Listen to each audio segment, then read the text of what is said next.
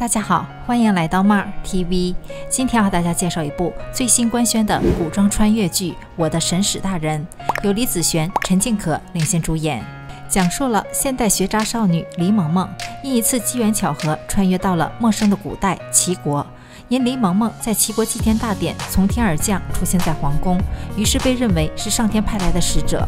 不仅被封为齐国的神使，还被腹黑皇帝齐炎尊为老师，这让一向因考试挂科而不受关注的李萌萌受宠若惊。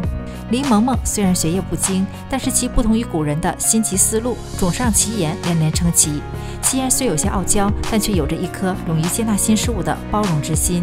不论李萌萌提出任何让朝堂老臣瞠目结舌的新点子，齐言都会暗中给予庇护。然而，要想在这个陌生国度的皇宫里求生存，李萌萌要面对的不仅仅是皇帝齐言，还有万事算尽的和亲王齐肃，不喜被世俗礼节约束的崔贵妃，以及神秘的西域使者李桃。那么，这些身份各异的人，又会与这个突如其来的神使大人李萌萌有着怎样的纠葛呢？就让我们心里有一个悬念吧。